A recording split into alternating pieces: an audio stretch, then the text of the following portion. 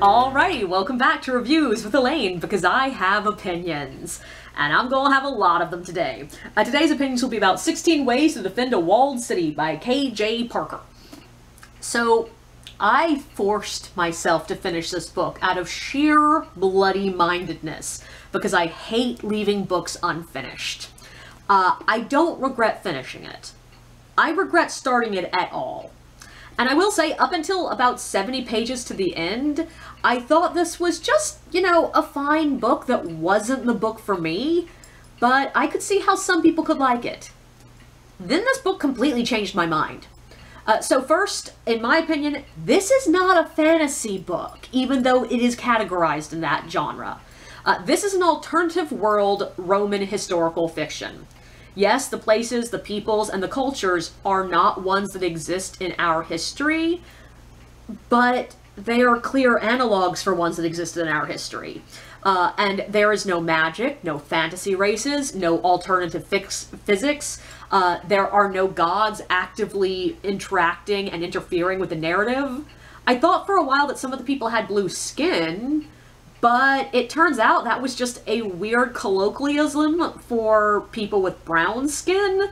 And as far as I know, there is not actually a name for this particular genre of something that is just an alternative world, like different names, different places, but still clearly an allegory for our world, but lacking all magic.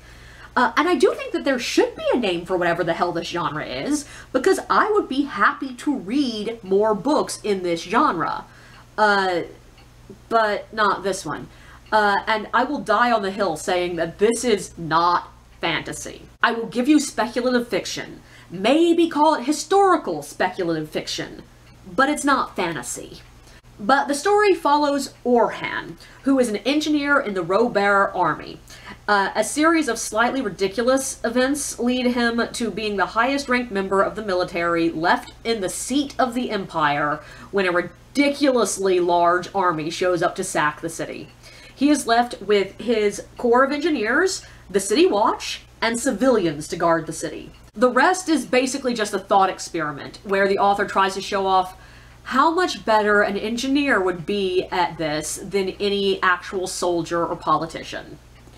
Uh, so I'm going to start this review with the thoughts I had on this book before we got to the point that it absolutely burned through all my goodwill. I realized pretty early on that this book is what I think of as a thought experiment book. A book written for an author to just play around with an idea. In this case, how a peasant-born engineer would run defense and siege warfare. And for what it is, this book did a good enough job of it. I learned a lot about pre-gunpowder siege warfare. And yeah, as a fantasy author, that is information that I could probably use at some point. But I have an inherent problem with the thought experiment books. They all read a bit like, look at how smart I am. Look at how smart my characters are. My characters could have done so much better than anyone in history because I'm so creative and educated and smart. They also feel a bit like listening to someone explain their D&D campaign with, to you. Uh, not always uninteresting, but inherently a little bit masturbatory. Uh, and the main character here makes this all feel even more self-aggrandizing. Orhan feels arrogant even when he's calling himself an idiot. Partially because he's always explaining why he came up with the ideas that no one else could, why he knows information that nobody else knows, why he is able to rise to the position no one else of his race could. He's constantly calling his friends and allies dense, stupid, or irrational. He talks constantly about how he doesn't understand people. He only understands things because things make sense. Machines do what you design them to do. A plank of wood is going to be a plank of wood. But people react. They follow stupid ideals. They think morally. Even the people he describes as his best friend, he points out and takes advantage of moments when they do irrational, stupid things. Orhan basically compares himself to Jesus at one point. And yeah, the character, of course, does not know what that would mean to the readers in our world. Uh, in his time and place, the this is just some little weird cult that Orhan thinks will never catch on. and he doesn't even use the name Jesus. But the author knows that we will read that as Orhan comparing himself to Jesus, and knows what that will mean to a modern reader. He has to know how gratingly arrogant his protagonist was going to come across. I also want to say that I just think I'm not this author's reader. Uh, I've read two of his works now uh, because both, like, he was just listed at by, like, this author might be a comp to me, so I gave two of them a chance. And I think it's safe to say that it isn't the specific book that I have a problem with. His writing is just a little bit smarmy. Uh, but I don't hate the prose style. Uh, it's intensely readable. Uh, he throws grammar out the window at times, but he knows when he can do it without making the prose confusing. Uh, his writing reads very much like spoken language, and he writes with an intensely strong voice. I knew who this protagonist was by the end of the first page, and the super familiar, casual, informal voice does good work towards making an unlikable POV character likable. Uh, but the problem is, this character is just too damn unlikable for that to win me over. Uh, Orhan does some shitty ass things, and no amount of friendly tone, self effacement, or moralizing is going to win me back over to his side. Uh, that being said, there were also some problems with the basic storytelling. The author clearly did not feel like wasting words on such inconsequential details like transitions between scenes, telling us where or when we were in a conversation, or building context. Uh, there were multiple times that the narrator tells us Orhan is doing something clever, which is grating because the narrator is Orhan, but doesn't tell us what is happening until after we see the effect that he was causing. And then it goes back to explain, which was needlessly convoluted. Uh, sometimes it worked, sometimes it didn't, but rarely did I think it added anything to the narration. Uh, there were also passing moments of interesting philosophizing on right and wrong, but it was never really fully expounded on. There was a lot of, I know what would actually be right, but I did this instead, from our narrator without really exploring why he was doing this. Uh, there was also some rather clumsy commentary on race. But now, I'm going to talk about why I came very close to not finishing this book. So this book was not great from the beginning when it came to female representation. Uh, there are really four female characters in the entire book, and I'm going to address each one of them. Uh, there will be spoilers. I don't care. Uh, first we have Aichma. So Orhan was her father's best friend. Orhan slept with her mother. We'll get to that. Her mother died in childbirth with a child that was Orhan's. I'm not actually entirely sure if that child was Aichma or another child, but he is definitely set up as having cared about this woman. Uh, she is one of the few people on his list of those he will save if the city falls. Uh, he talks about how smart she is, but 95% of her appearances in this book are her acting as a sounding board for him.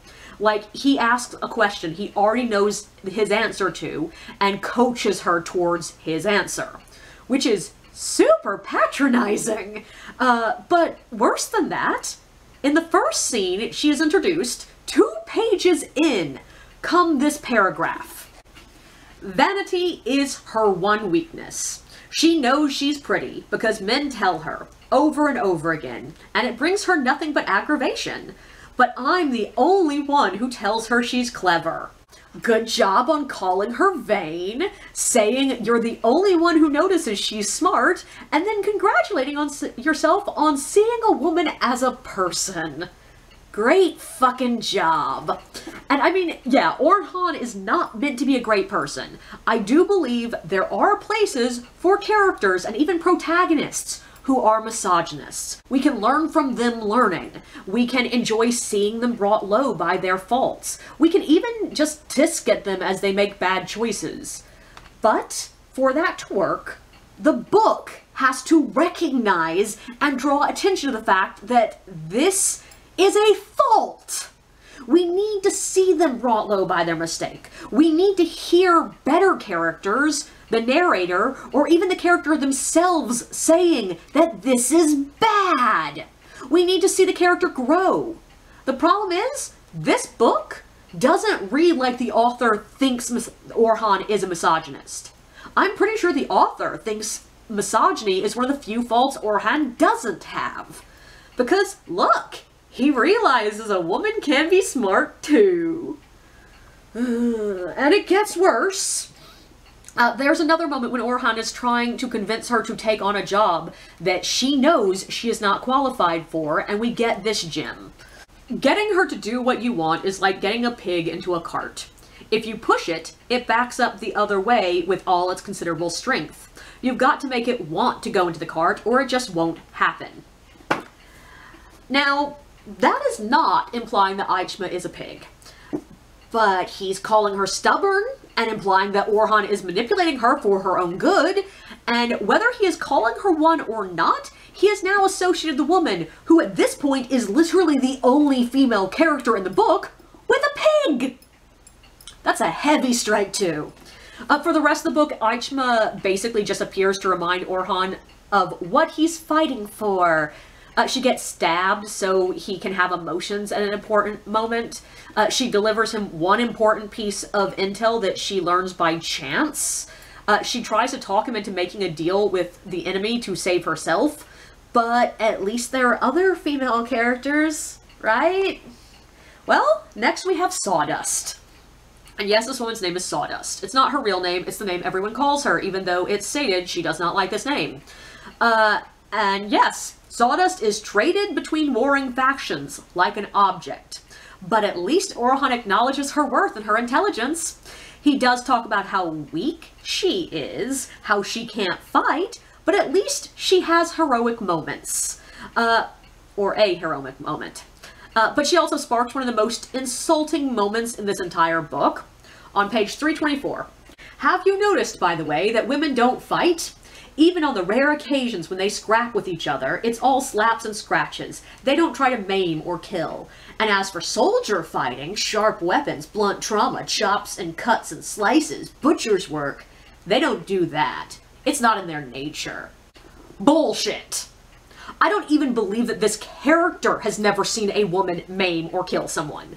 He is from one of the savage tribes that are clearly based on uh, Germanic tribes. And yeah, there were female warriors in the Germanic tribes. I guess when the author was doing his very minimal research on gladiators and the hippodrome, which features heavily in this book, he never learned that there were female gladiators too. And no, they didn't have slap fights for the entertainment of the masses. But it's shit like this that makes me want to do some of that butcher's work he claims women don't do. But then we have the other two women. I don't remember their names, and I don't feel like flipping through the book to find them. Uh, the important thing is that their stories mirror each other, and the telling of the stories is flipped back and forth between uh, the two passage by pass. We get one passage from this woman, and then go back, get another passage from this woman, and go back, and go back, and go back. Uh, one of these women is Aichma's mother. The other is Orgus's wife. Both are referred to as my best friend's wife by the narrator, both are introduced to him by their doting husbands. Both inform Orhan that they hate their husbands as soon as they are left alone with him. Both of them ask him to help plan to murder their husbands, who, I will remind you, are Orhan's best friends. Both sleep with him. The crowning moment of this little passage of back and forth terribleness uh, comes from the second woman's story who our narrator describes this woman as beautiful, so beautiful, his words cannot do her justice. She proposes she will kill her husband and give Orhan command of the army. After some back and forth, he agrees on the condition that she will marry him. She agrees because she knows that as a woman, she will need a man to take command after she has murdered her current husband. And then we get this fucking gem of a line. We sealed our bargain. Not my finest hour, though she was very polite and long-suffering. But it had been a long time, and besides, my mind was on other things. Winches, lifting gear, the reliability of Polynices' histories, the effective range of trebuchets, and the drying time of my special pumice mortar. Not even my finest... Not even my not finest hour. More like 15 minutes. In case you can't wrap your mind around that, this man, who is supposed to be our hero, our protagonist, presumably meant to be at least slightly likable, just coerced a woman into having sex with him, admitted she did not enjoy it, and then makes a joke about finishing too quickly because his mind was on siege warfare. Also, this means that two out of four total women in this entire book are portrayed as murdering their loving, doting husbands. And yeah, there's a random section talking about how the first, at least, was basically forced to marry the man by a lack of option society had given her. But still, two out of four women are portrayed as self-serving, adulterous, cold-hearted murderers. Uh, one of them dies in childbirth, which our protagonist describes as, I killed her with my dick.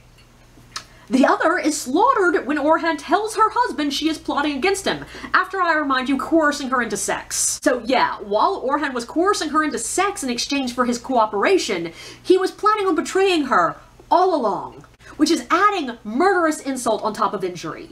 She is then scalped, and her skin used to cover a book which I'm pretty sure would have taken longer than the author realizes because this is portrayed as happening in like a day or two, and oh, would not have preserved her beautiful golden hair. But that means it's both illogical and turns one of four female characters into a literal object. Oh, and Orhan's response to this is to note that he had always wanted to read the book Her Skin is Used to Bind. What the fucking hell on earth is this shit?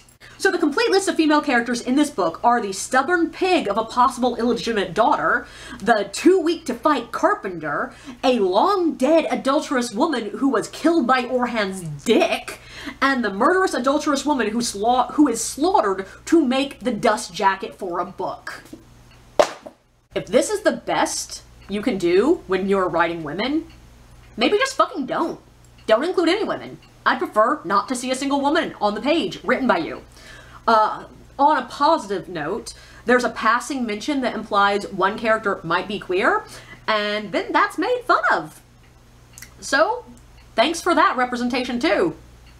Just no. So, no, I don't suggest you read that fucking book. I threw it and I'm not picking it back up. I am mad I read it at all.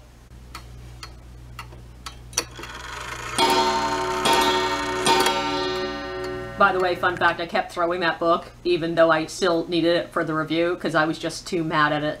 So, yeah, sorry the ending of the review, I don't have the book in my hand. I just, I, I, I, I had to yeet it. It was all I could do with my soul. I also yeeted it in the short that I made, so, fuck off!